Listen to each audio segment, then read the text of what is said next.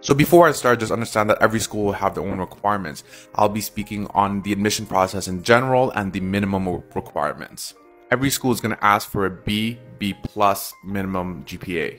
But you have to consider the increasing number of nurses going back to school in today's time. So to give yourself a good application, you would have to have an A minus GPA. I applied with a 3.6 GPA. So at a minimum, you need two references, one academic and one professional. An academic reference is a professor and a professional will be a manager or supervisor. Because I applied straight from my undergrad, I only needed two academic references. Consider your nursing portfolio as your nursing extracurriculars.